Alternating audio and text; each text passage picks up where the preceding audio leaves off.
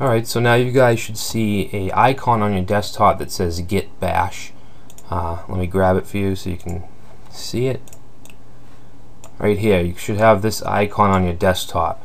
And this basically gives us a command line or a shell, um, just like the the the uh, Rails installer gave us. And we're going to use this instead from now on. So it should look something like this. Okay. Now you can see by default uh, the PC I'm on is named Monster. So that's why it says my name and then Monster. Yours will say something different whatever your computer is called. Uh, and by default they put us in the user directory our users directory which is not where we want to be. We want to be in our sites directory and then in our app. So let's just we'll change directory to the C drive and then we'll change to well I guess you could have done all this in one shot but now we're in this uh, C sites with a capital S. Alright so now if we list the files you'll see our folders there our my Ruby blog folder. Let's just switch to that and then if we list the files it's all of it's our entire app. So this is the folder where we want to be okay? Um, so the next thing I want to do and you can also see these files in your Windows Explorer. Just go to uh, my computer and then the C drive sites my Ruby blog. So this is this. So we're in the right directory now what we want to do next is, remember I told you um, SQLite 3 is what comes as a database by default with, with any Rails installation.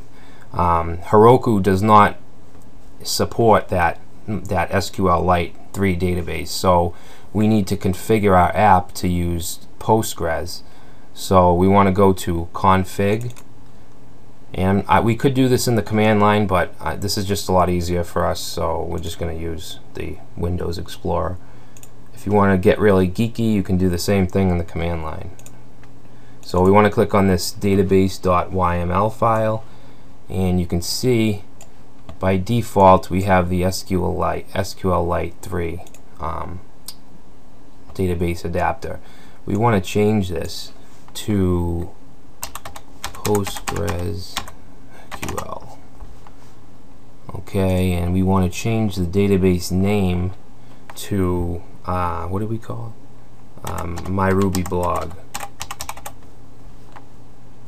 Yeah, and you should also have um, your PostgreSQL database running. And this is it right here, my Ruby blog. This is the database and remember we created a user uh, a username. Well it created one for us which is right here Postgres. And then we have we have to enter our password. This is my password. Okay and okay that looks good. We're gonna now we have th three different versions we can have for our site development test and production. Um, I'm just gonna use the same for each one. So just make them all the same for now. We can worry about that later testing and stuff. Okay so these are all the exact same. So now we want to save the file.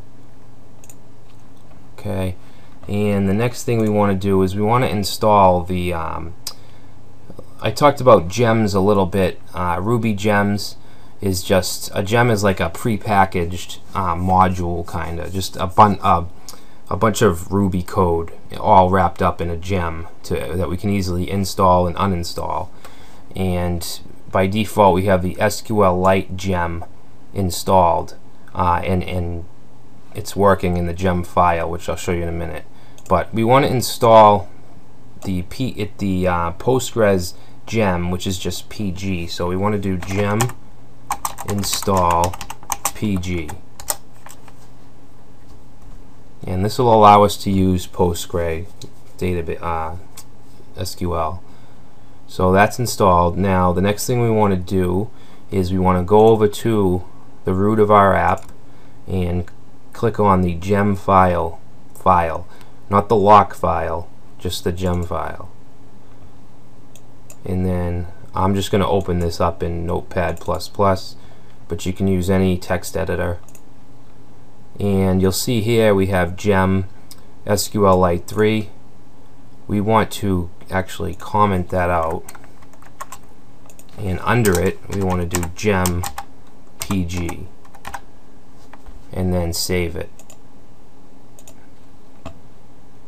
okay so we disabled the SQLite gem. And now the last thing you want to do before we get into Heroku is you want to do a bundle install which will go over the Ruby all the Ruby gems again. Okay. I think that's all we need to do. So let's try to run our server now with Rails S alright so now our server is running so we want to put this this shell to the edge uh, um, to the edge, to the side, and then open up a new one. And again, it's the git bash icon. And you're going to have to go back into our app, our app folder. So do cd capital C uh, colon backslash sites with a capital S my Ruby blog. What? Huh. Alright, and just do just do cd c sites. Huh.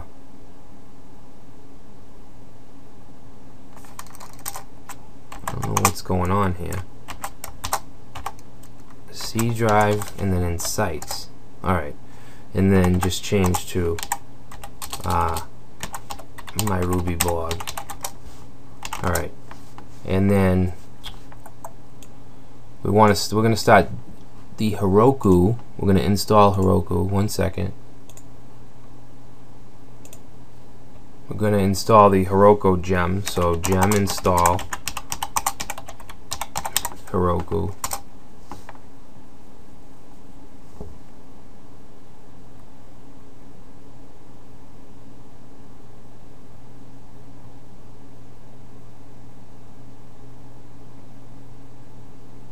I'm probably going to end up splitting this video into two parts because um, it's getting really long.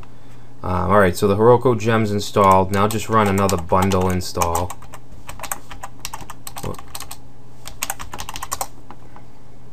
Alright, so now we should be able to type uh, Heroku and then version. Alright, so it's installed. Now what we want to do is we want to start doing some git commands. Alright, so remember the first thing I told you to do that we need to do is git init. So what this did is it initialized the the the folder we're in, it initialized it as a repository.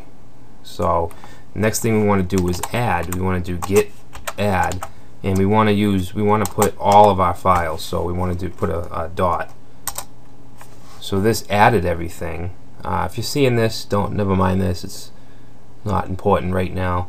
Um, so after we add, one second, we want to do a commit. So git commit, and we want to do.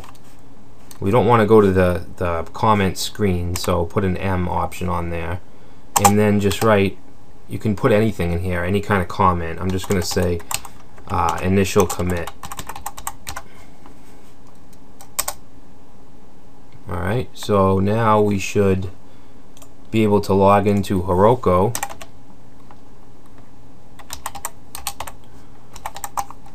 Heroku login and then use the email address.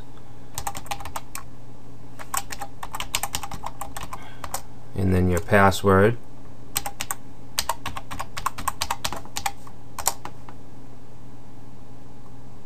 And if you get uh, some kind of some kind of question about keys about if you want to generate a key an SSH key just type in Y yes and then that should just give you a set of keys uh, and it should authorize it so um, and the next thing we want to do is a Heroku create.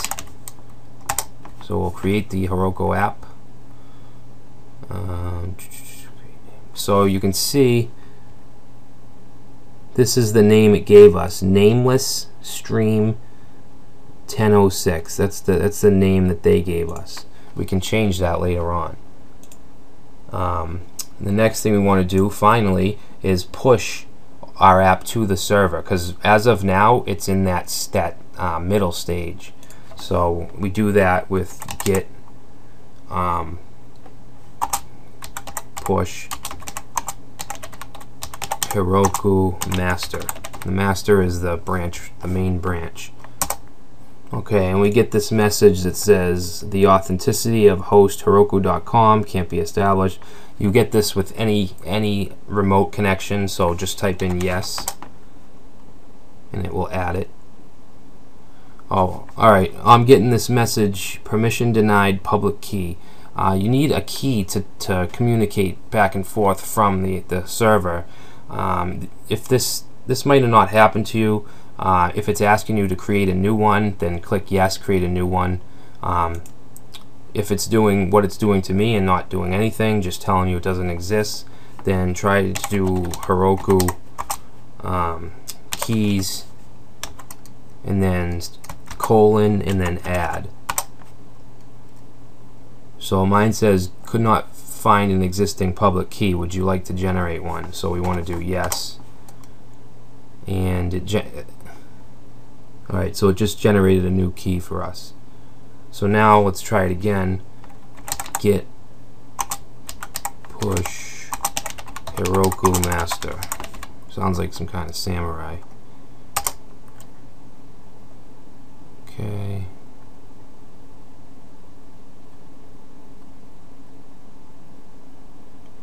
and it'll go through this rigmarole.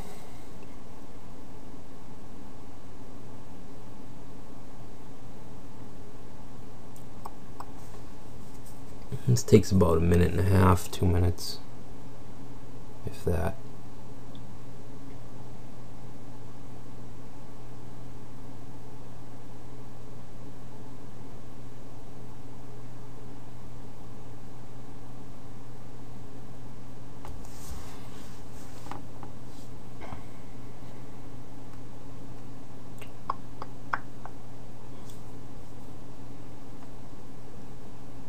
and after this is done if it if it's successful we should be able to visit our app uh, live on the web through Heroku through a Heroku URL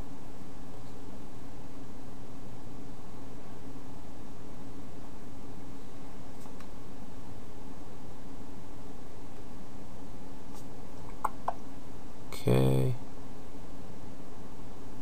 Writing database to okay Looks like it read our database, our Postgres database.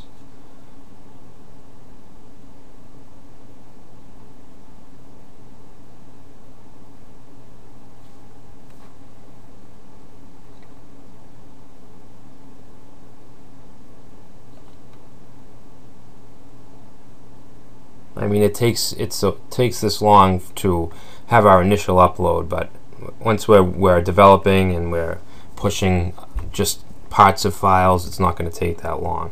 Alright, so you can see it, it was successful and the git path is git at heroku.com nameless stream which is this is the name of our app um, on the remote server nameless stream 1006.git so let's go back to Heroku in the browser